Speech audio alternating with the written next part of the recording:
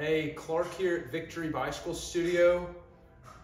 You're seeing it. It's not messing with you. That is the 2023 Scott Foil RC10. The new Foil RC, totally redesigned. Yes, it's the highest level of carbon Scott makes with their HMX, both frame and fork. Y'all, this one's incredible. This bike all across the board is not just lighter, but faster and also more comfortable. It's considerably faster. In fact, this one, between the high crown on the front and the one-piece aero bar setup, the new aero seat post and everything on the rear, lower seat stays this year, all of that equates to just shy of a minute 20 seconds faster in a 40K, based purely on this new design alone. It's more comfortable with the new bars.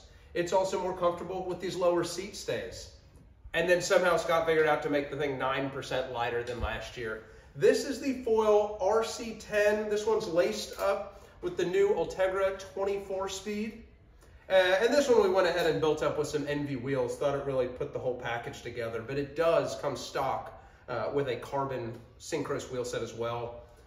Y'all get by, check it out. We've got a couple of these. The new 2023 Scott Addict, Scott Foil RC10.